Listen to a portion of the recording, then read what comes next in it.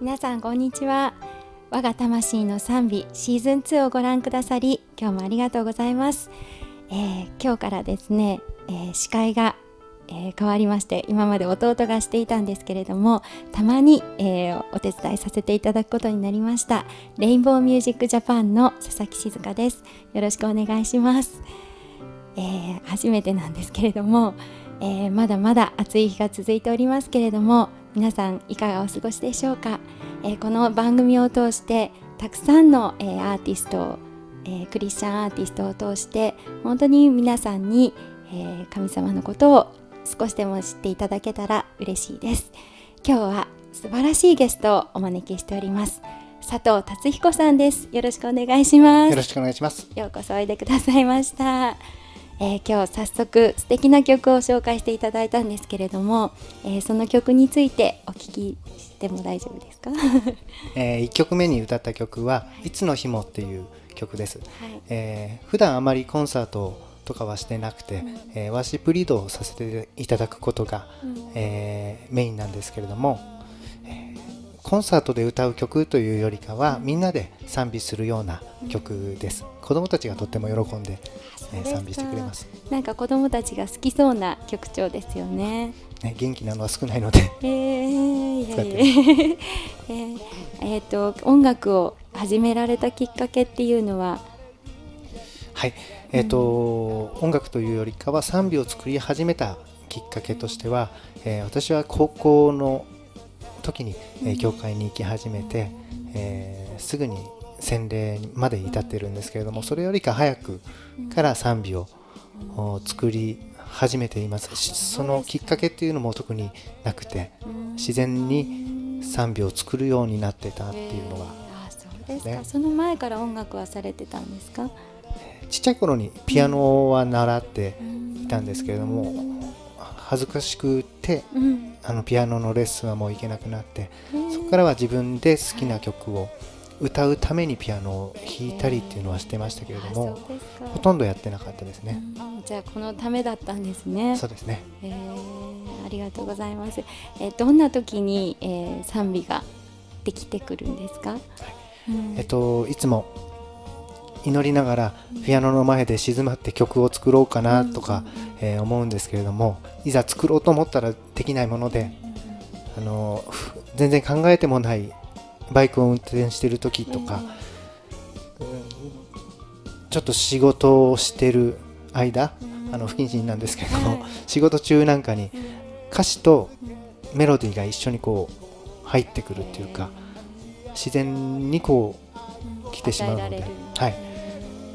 それを覚えておくっていうのがとっても僕にとっては課題で、あの楽譜を読むことも書くこともできないので、うん、それを頭の中で仕事中ループさせて休憩時間にガーッとドレミだけ書いておく。そういうことをしています。素晴らしいですね。ありがとうございます。では次の章、えー、次の曲は？はい、次の曲は、はい、えー、そのままでいいから」っていう曲を歌います、えー、神様いつも、うん、あなたに気取らなくてもいい、背伸びしなくてもいい。頑張らなくてもいいそして遠慮もしなくていい。そのままの姿でこっちにおいでって、え、声をかけてくださっている。そんなことを歌った曲です。はいありがとうございます。それではお願いします。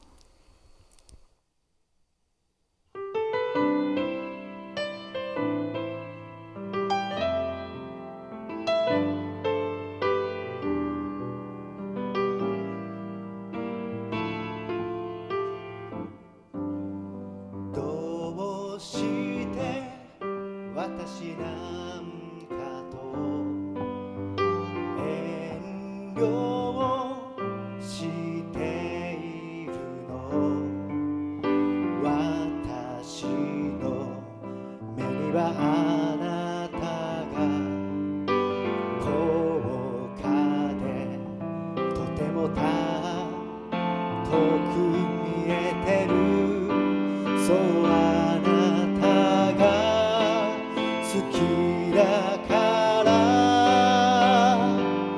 そのまま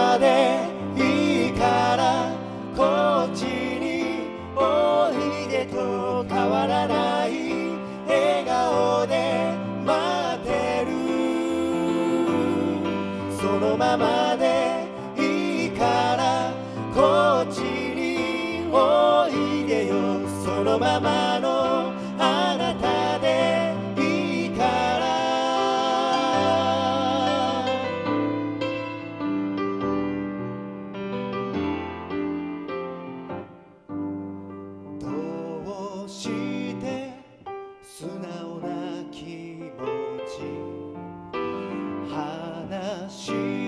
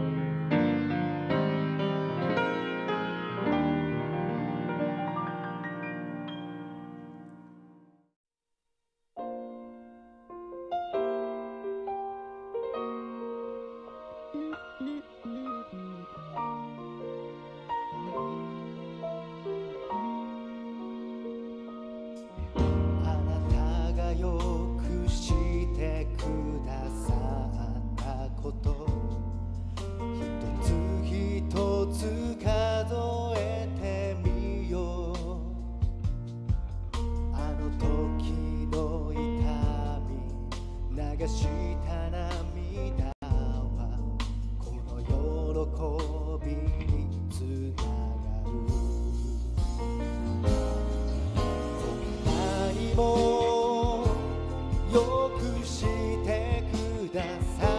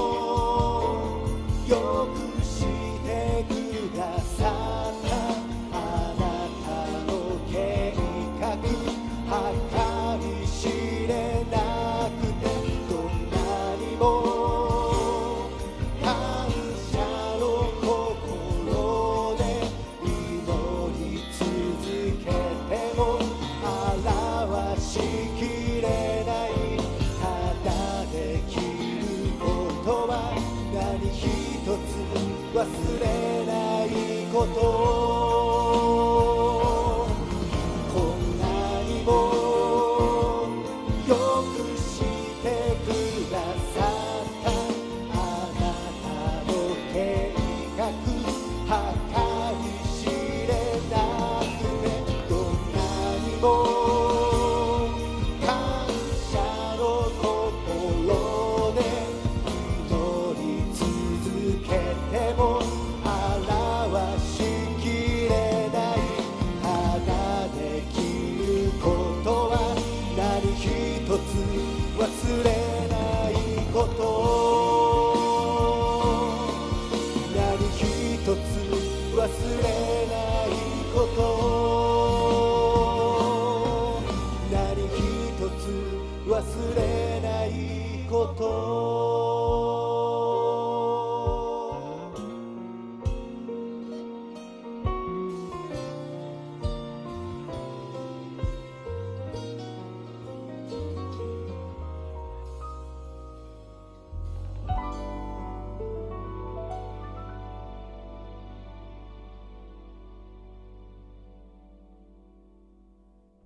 どうもありがとうございました。ありがとうございましたえー最後の曲は忘れないことですね。ありがとうございます。えー今の歌われた曲はこの CD の中に入っているとのことなんですが、はいえー、と2枚出ていますね。